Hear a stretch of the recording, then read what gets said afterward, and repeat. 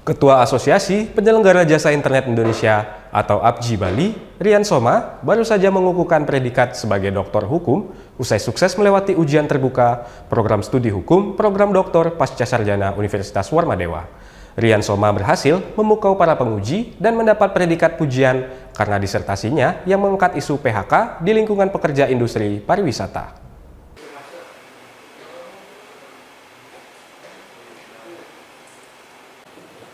Bertempat di Gedung Singa Mandapa, Fakultas Hukum, Universitas Warmadewa, Ketua Asosiasi Penyelenggara Jasa Internet Indonesia Bali, Rian Soma, jalani ujian terbuka dan promosi doktor program studi hukum.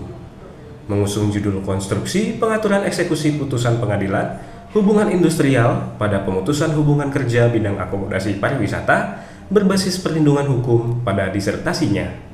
Rian Soma mendapat sanjungan dan apresiasi dari para penguji maupun hadirin yang datang.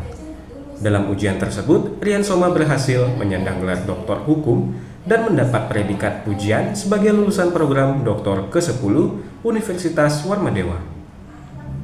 Rian mengatakan judul disertasinya tersebut merupakan keresahannya yang melihat kondisi para pekerja yang terpaksa di PHK untuk bisa mendapatkan hak dan keadilan sesuai hukum yang berlaku saat ini. Rian mengungkapkan penelitiannya tersebut dapat diselesaikan dalam kurun waktu 3 tahun.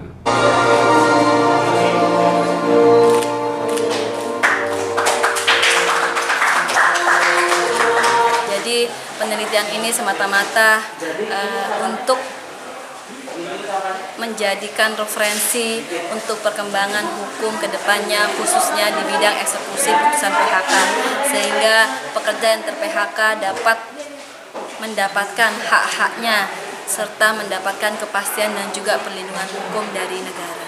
Saya bersyukur kepada Allah Subhanahu wa taala dapat menempuh pendidikan tertinggi sampai S3 buat saya adalah sebuah karunia dan kebanggaan. Cuman yang tentunya sekarang semua orang dengan mudah bisa mencari ilmu dengan sarana yang sangat cepat dan mudah dengan teknologi dan yang terpenting adalah segala sesuatu di atas ilmu adalah attitude ataupun akhlak karena memang attitude ataupun akhlak ada di atas dari ilmu. Rian menambahkan capaiannya tersebut berhasil diraih selain karena kerja kerasnya juga dari dukungan positif dari pihak keluarga. Rian berharap agar dapat terus berkiprah, terutama dalam bidang ilmu pengetahuan, agar kelak bisa berguna bagi dirinya, keluarga, maupun nusa dan bangsa.